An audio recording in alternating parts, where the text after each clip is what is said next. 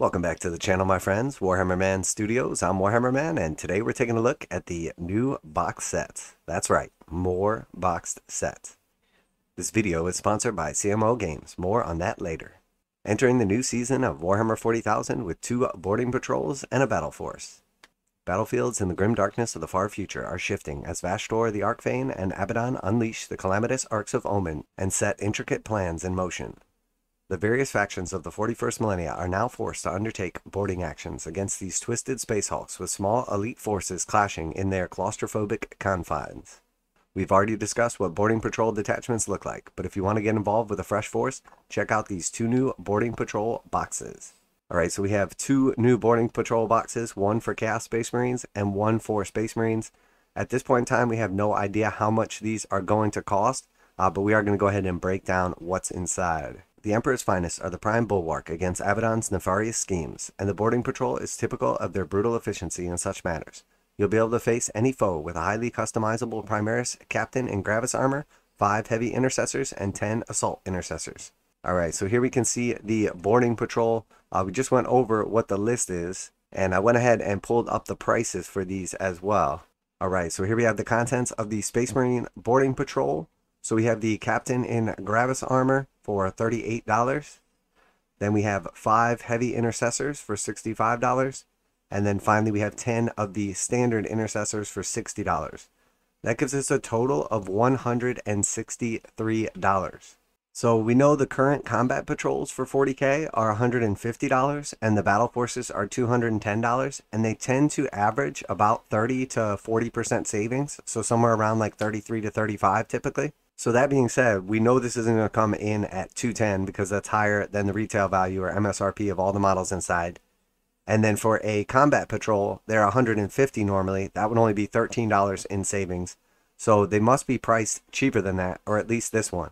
So what I'm guessing is it's going to be $110, and this is completely just a guess. But if it's $110 and we divide 110 by 163, we get 0.67, which is roughly a 33% discount. So my guess on this one is it's going to be $110. And at $110, you're saving roughly 33%. And overall, I'd say it's decent. I'm not honestly sure that heavy intercessors are suddenly going to be good. I think standard intercessors are pretty good. In this case, these are assault intercessors, which is even better because they're actually going to include your combat weapons like a power fist or thunderhammer, etc. And there's enough actual pieces inside or bits on the sprue that you could actually do two five man squads of assault intercessors with a combat weapon on each sergeant. So overall, I think this is a nice box set. I'm not sure about the heavy intercessors, how they fit into here. I would have actually rather see something like aggressors. I think are going to be very strong in boarding actions.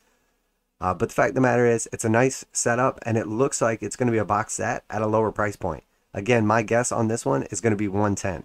Alright, and then next, Abaddon spearheads elements of his current campaign in person, and so the Chaos Space Marine boarding patrol includes the Despoiler himself, 10 Chaos Space Marine legionaries, and 20 cultists for you to cherry pick your own patrol from.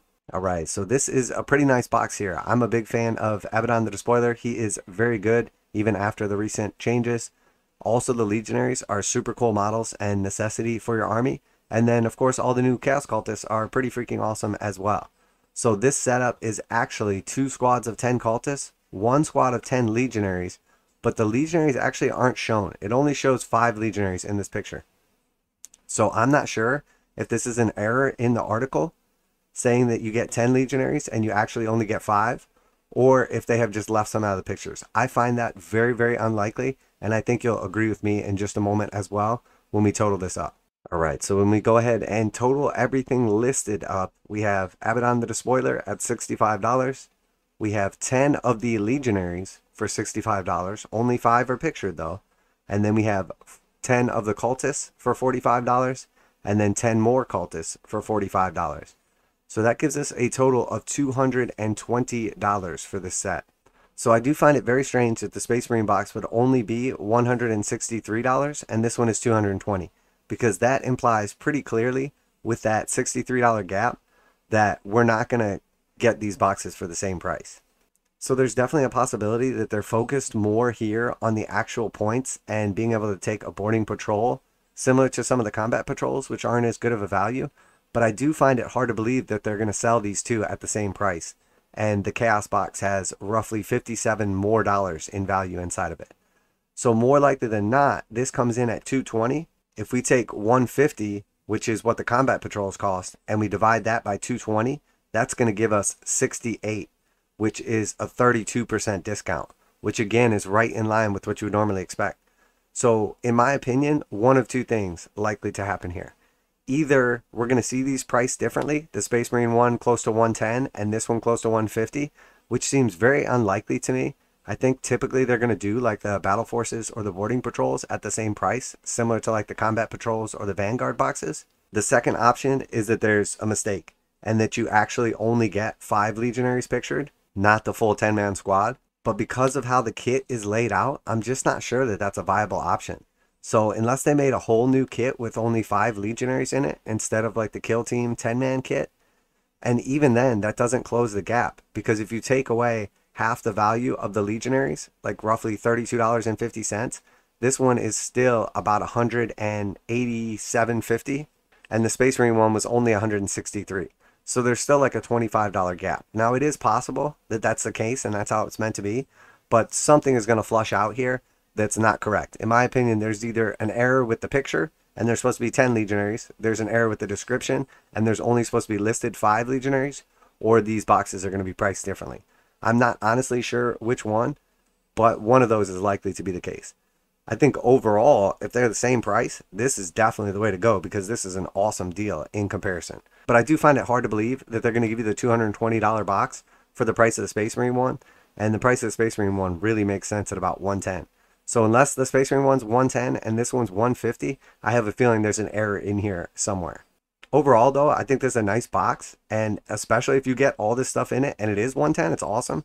If you get all this stuff in it and it's actually 150, it's still not bad. I think I actually probably like it better than the Chaos Combat Patrol. Uh, Abaddon is really, really good right now. The new Cultist models are awesome. The Legionaries are awesome as well. And this is a nice core starting force. And then if you are playing a regular game of 40k, you can easily just put in whatever monsters or vehicles or whatever to kind of complement your starting force. So that being said, some cool new sets right here, uh, but a little bit of questions still. So a couple new boarding patrols, very cool, but definitely more questions than answers on this one, as something's not quite right. In a world of bloody boarding actions, it's easy to forget the colossal battles that define the 41st millennia are still taking place. Battle fleets are the cohorts raised by Abaddon and Vashtorr, tasked with collecting the artifacts needed to complete the meticulous plan. So we see a new battle fleet battle force box for, again, Arks of Omen specifically, but obviously you could use this in 40k as well. The Battlefleet Battle Force is a contingent of corrupted warriors comprised of 10 possessed, 5 cast Space Marine Terminators, and a Heldrake, all led by an infernal demon prince.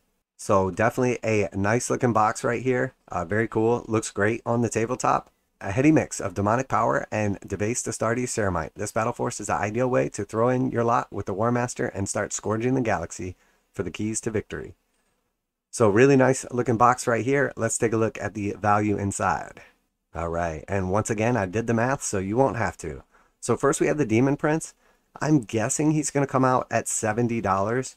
So far, this model has only been released in the Chaos Fantasy box set. So we don't actually know the price yet. He is coming out this week, so we will know in the next day or two. But I'm guessing he's going to be somewhere in between 60 and $70. Maybe 65, but I'm guessing 70. Next, we have a Terminator squad of five back here, and they are $60. Then we have five possessed right here. We have five more possessed right here. And then we have our Heldrake for 80. The Heldrake is an interesting choice because there was quite a lot of nerfs to flyers. So this sort of makes me feel like they're just tossing it in the box because it's expensive and they're not selling well. Heldrakes are pretty cool overall. I really like the models, but it's definitely a strange selection in a meta where clearly Games Workshop is trying to get away from people using flyers. So if we add all that up, we get a total of $330. And that is the sweet spot that Games Workshop likes to make these boxes. Probably like 75% or more of the boxes come out to roughly or almost exactly $330, which is what makes me think the Demon Prince is going to be 70. But if he's give or take like 5 or 10 bucks, it's not going to make much of a difference. But if we do the math on that, quick little bit of division, $210, which is my guesstimate for what the box is going to cost, the same as all the other Battle Force boxes. If we divide that by 330, uh, which is our MSRP value, comes out to 0.64. So that's going to give us 36% savings over retail. So that is right in line with what the rest of the battle forces have been. A lot of people are bummed out that there was so many Space Marine ones and no chaos. Uh, well, here is the chaos. So honestly, happy to see that. It's a nice looking box set. And now a quick message from this week's sponsor. This video is sponsored by CMOGames.com, where you can get 15% off most Games Workshop pre-orders, and they go live right at midnight Saturday mornings. CMOGames.com offers free shipping on orders over $25 in the US 48, and most orders ship within 24 hours. CMOGames.com has been selling Games Workshop products online for more than 20 years, and customer service is their top priority. CMOGames.com carries the full line of Games Workshop products, including 40K, Age of Sigmar, Kill Team, Warcry, paints, hobbies, and tools. Visit CMOGames.com using the affiliate link in the description below so they know you heard about CMOGames.com from Warhammer Man Studios. Now, back to the video. So that being said, really cool. Definitely glad these box sets are coming out. If you don't like them, always you cannot buy them. So for me, I would always rather have more options. But I do find it a little bit strange that there is another Battle Force coming out and then also two more basically like boarding patrols or combat patrols. Uh, it's very strange how many box sets Games Workshop has released in such a short period of time. There was eight 40k box sets in the initial Christmas running. There was seven Sigmar box sets. That's 15. We just got the limited box set for the Astra Militarum we just got the limited box set for the Slaves of Darkness. That puts us at 17 box sets. And then we saw four more Space Marine box sets come in the new year. That puts us at 21 Battle Forces. Plus this one here is 22 Battle Forces or box sets. Plus the two new Combat Patrols as well. That is an insane amount of big boxes full of Games Workshop minis. I'm not sure exactly what's going on here, but this feels like full on desperation. I'm glad to see these box sets coming out. They're great value, especially for those of us in United States or some of the other places that don't get fairly priced Warhammer in the same way that like UK does, or even in some senses Europe gets a much better deal. Um, I understand there's tariffs and shipping and all that, but I have broken all that down in the past, and there's absolutely no reason for like a 40% premium charging people in the States or Canada, or don't even get me started on Australia and New Zealand um, I'm surprised anyone there even plays. And if they do, they should be just 3D printing everything. Uh, because honestly, the prices are absolutely insane there. But that being said, aside from all that, it seems very strange that they're selling this many boxes in a row like this. Obviously, Games Workshop has been leaning more in the big battle boxes, and then they're able to make statements on their semi annual report, like they did last time, where they have sold more miniatures than ever before. But it's very, very strange that they're putting out this many big boxes. I think there is definitely a gap between who Games Workshop thinks their customers are and who their customers actually are. Because the truth is, the game is not like growing a ton. It's just the same people buying more stuff. Now, I'm sure there's some people that have just joined into the hobby or you just got some friends into the hobby. Plenty of like anecdotal reasons or the hobby's more popular or bigger than ever before. Sure, I totally agree with like all those anecdotal things. Everybody has a friend that just started or whatever. But the truth is, the amount of product that Games Workshop is putting out relative to the amount that their customer base has grown in the last one, two, or three years is a massive, massive difference. They are putting out exponentially more product than they have ever put out in the past. I mean, I would say their releases are coming two, three, even five times as frequent. And like, if you were to buy every release this past year compared to the year before that, I think you would probably spend three, four, five times as much. Now, I'm not saying that people are out there doing that or that you should do that, but what I'm saying is they're making exponentially more of these products, limited box sets, starter sets, battle forces, you know, combat patrols, boarding patrols, vanguards. They are releasing this stuff at a ridiculous pace that people honestly are not going to be able to keep up with. As we're essentially going into like some you know economic hardships, potential recessions globally, etc. Uh, it just seems very strange how much product Games Workshop is pumping out and how much they're just reboxing a lot of the product they already have. And there's a strong argument to be made that they're just throwing everything in boxes and just trying to clean it out so that they don't have a bunch of stuff in their warehouse. But the truth is, it's not like Games Workshop has massive stock of product just sitting in warehouses that they're unable to sell. They literally go out of their way to make sure that they don't have that situation. So honestly, this just feels like they're pushing the limit to see just how much product they can sell. I don't think this is a sustainable pace for them or for the customer base. And I think a lot of people get hobby burnout because of situations like this. They get a new box set or a new battle force or start a new army or something like that, and they're barely getting their hands into it, and then something else flashy and fun and new comes out, and then they pick that up, and now they have an even bigger pile of shame, and then they start to work on that, and then they look at their project that they barely got anything done on, and then something new, flashy, and fun comes out. And I'm not saying it's Games Workshop's problem. They're obviously a business and trying to sell as much product as they can and make as much profit as they can. That's capitalism. Nothing wrong with that. That's just how it is. But the fact of the matter is, this is going to cause long term hobby burnout. And what happens is, at first, people stop working on their stuff and then they start buying a little bit less. And then next thing you know, they're staring at this massive, daunting pile of shame. And then after a while, they're just ready to quit and just try to get some money back for this expensive investment that never really culminated. And that's what I'm afraid of. I love that they're putting out tons of boxes. I love the discounts that they offer inside them because obviously their MSRP prices have gotten pretty insane. But the fact of the matter is, it's very hard for anybody to even keep up with the releases, let alone if they're buying them.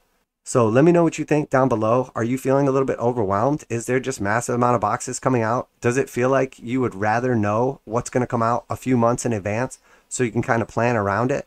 Because I know a lot of people will buy something and then right afterwards something better comes out and they wish they would have bought that instead, but it's obviously too late. So let me know your opinions down below. Always like to hear back from you guys. I actually think all these boxes are pretty nice. And honestly, I am torn about picking up at least the boarding actions box for Chaos just because I know that I'm going to be getting the World Eaters and they're probably not far down the line. So I want to plan ahead and kind of skip some of these other releases knowing that I'm going to be starting a new army when the World Eaters arrive. So let me know what you think down below. What are you going to be picking up? What are you excited about? What's your opinions on why there's just so much product coming out? Is it starting to get to be a little too much or are you feeling that burnout a little bit? Special thanks to CMO Games for sponsoring the video. You save 15% with free shipping if you order through them. And that's it for today. Warhammer Man Studios. I'm Warhammer Man. And honestly, I'm excited for this stuff, but it might be a little too much. And I'm out of here.